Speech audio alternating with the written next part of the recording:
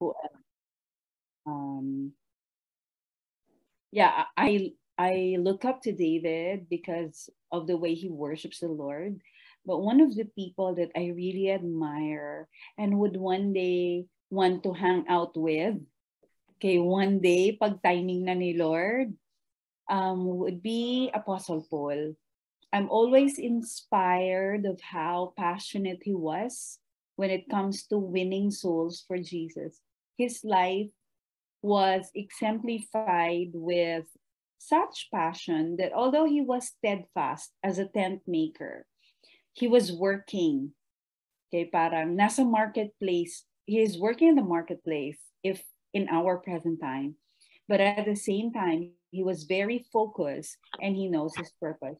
So um, from my slide, I've actually prepared this scripture from First Corinthians 9 22, where he said that when I am those who are weak, I share their weakness, for I want to bring the weak to Christ. Yes, I try to find common ground with everyone, doing everything I can to save some. Wow, such passion. He was doing all his work. He was busy as a tent maker. Um, though he was not married, but I'm sure he has fam- a family also, like siguro a brother, a sister, or um, relatives. But despite being busy or having work, he was so focused on God's calling for his life. So it's like us, we are busy with our side hustle, but us knowing that wherever the Lord has placed us, whatever work that the Lord has entrusted to us, we know that that is just the a platform that the Lord has given us for a bigger purpose. And that the Bible said that uh, we might win some. I think it is very important for us to always go back to the reason what could be the possible reason why the moment we become born again God did not took us right away to heaven. But we're still here because God has a purpose for us that we might win some. And for us to be able to win people for the Lord, we need to do this three thing, three things, or consider this three things. Number one is we need to be focused. I know I love this word because I myself, there are so many things that has distracted me lately. Like I'm a mom of a three-year-old girl and a an 11-year-old boy, and I am a homeschooling mom. Yeah, uh, so I'm teaching my son. I'm running a business called the Living Pupil Homeschool. That's actually it's just a platform. Um, we are a business but we have an ulterior motive, and that is every enrollee that we have, we're praying for them. It's like we're praying for them one by one. My team and I are praying for them um, one by one because we want to share the gospel to them. So while managing this and managing the company and managing my household, at the same time, being deeply involved in the ministry, sometimes there are things that can distract me. But the good thing is, what helps is every time we come before the Lord every day and read His word every day, He refocuses us. He gives us a new direction again and saying, okay, you need to focus on the bigger goal, and that is that you might win some that we should not let a day pass by without somebody hearing about the gospel or without touching the lives of somebody or being the hand of the Lord or being the heart of the Lord. So, number one is focus. Number two, for us to be able to win some, we need to do hard work. Okay, um, winning people, I realize being also in the ministry and being um, and handling cell groups, I realize that usually people come bef- come to the Lord or get to know the Lord. People are getting saved when I pray and when I do something, when I work hard, when I become intentional. Later, I'm going to give um, stories and specific examples on how we are doing it here in, in Cebu, in the Philippines. So, hard work. For the task to be done, for souls to be saved, we need to invest our time. We need to be a friend to somebody who doesn't know the Lord yet. We need to be the hand of the Lord. So we need to exert effort. Okay. Um, I understand that for many in your place, just like here in the Philippines also, it's like the Philippines is becoming very, very busy um, every day. Okay, but when we love the Lord, He give us a compassionate heart that tayo na or we ourselves are the ones saying, Lord, use me, use my life to be a blessing to somebody today. And if we are to be intentional in winning people to the Lord, we need to not just work hard, but at the same time, we need to be strategic. Okay, later again, I'm going to explain that. Um, one of the things that our pastor also has challenged us is that we should give the Lord the tithe, our tithe, not just in the area of finances, but even a tithe of our time.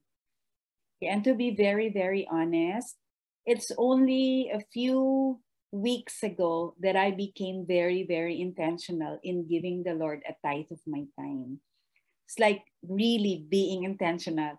Like today, I take note of how much time I spend reading His Word or how much time um, I spend praying because this is my commitment. Because I realize that if I am to become effective in winning people to the Lord, I need to work hard and I need to be systematic and I need to be able to do the sacrifice. Okay? And the truth is, when we love somebody, it's not a sacrifice at all. Spending time with the person we love is not a sacrifice at all. It's always a delight. It's always a joy praying. It's always a joy listening to the word of God. So if I if we are to win people to the Lord, we need to work hard, we need to be systematic, we need to be willing to give the Lord our time. Okay, and the third thing that we need to do, if we are to win some to the Lord, is that this thing that you're doing, okay, prayer. Just like us here, we're also having prayer every day from 6 in the morning to 7.30 also uh, so earlier this morning when rj called me i told her i'm still in the morning prayer. And i said i'm just going to call her later. Okay so earlier this morning we also have a morning prayer. So we're doing morning prayer every day.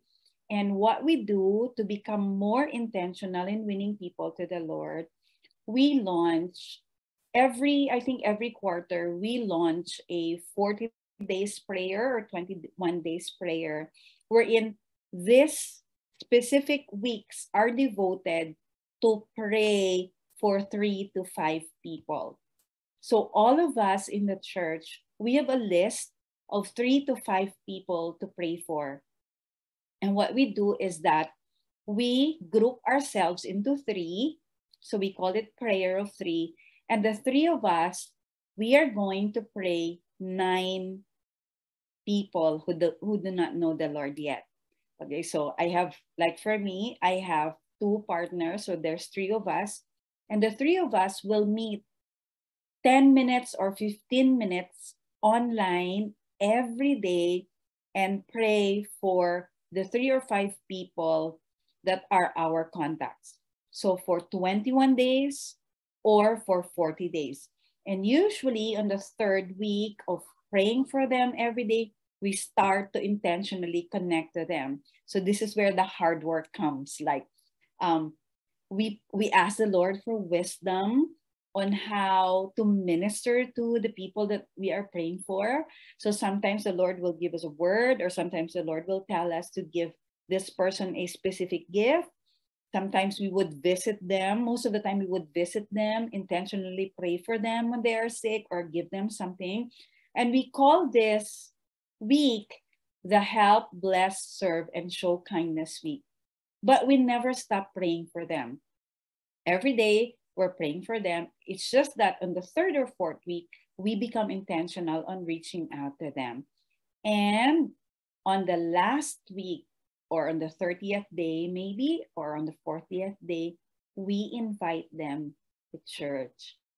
But most of the time, based on our experience, even before we finish the 21 days prayer, by the way, we don't just pray, we also fast for them for this for the salvation of these people once a week. And usually, usually um, before the 21 days or the 40 days um, prayer is done, there are already people who are responding to the gospel.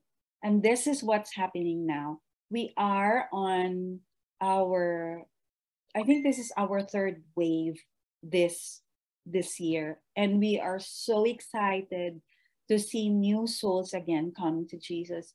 And it's almost Christmas, right? Although we know that it's really not December 25, but we're just celebrating. Okay, and what a wonderful way. We are right now we are we're going to launch this Sunday the third wave of our prayer freeze. And the next month will be a very, very busy month for us because we will intentionally give gifts and visit those families or those people that we are praying for. So if we do these things, if we will just become intentional and winning people to the Lord, if we will keep praying just like what we are doing, then can, we will see a great harvest and we can really put a smile on the face of Jesus because this has been his heart that many will come to salvation. Thank you. Can I pray quickly? Amen. Lord, thank you. Thank Amen. you. That, thank you, Lord, that you have a purpose for us. And thank you for the opportunity that we can work together with you in winning souls. Thank you for this time and thank you, Lord, for this opportunity that I can be with my brothers and sisters via Zoom. In Jesus' name, amen.